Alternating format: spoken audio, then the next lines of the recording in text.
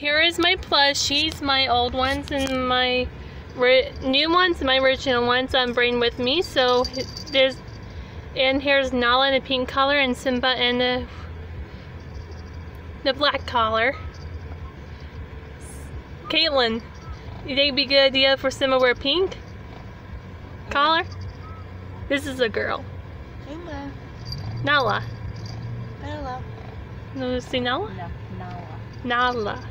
How brave you are. so yeah, so it is a real good movie and the first the first one came out in summer so it's 20 so it's 25th anniversary and and SpongeBob had a birthday three weeks ago. Caitlin, wish SpongeBob a happy late birthday? Billy birthday. SpongeBob. Are they coming out with a new SpongeBob movie soon? Next year. wow. Okay, so say bye, Nala. Meow.